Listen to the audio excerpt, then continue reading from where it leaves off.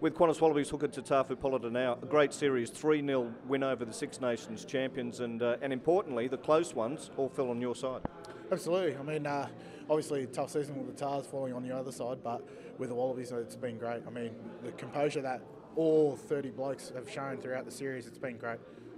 Tell me a little bit about the crowd here at, uh, at, at Allianz Stadium today. Uh, 43,000 packed into the joint.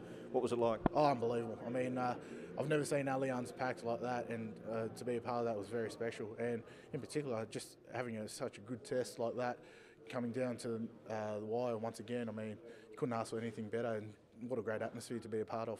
What does it mean to this team? I mean, 3 0 against the Six Nations champions, and uh, when you see them, they're big human beings, this mob, and they can play footy.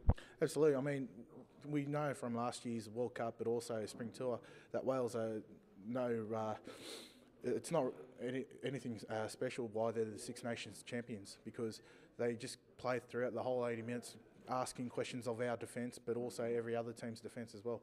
And it's full credit to their squad because like they keep showing up eh, week in, week out, and throughout these uh, narrow uh, wins, you can see why. What sort of confidence does this give the Wallabies?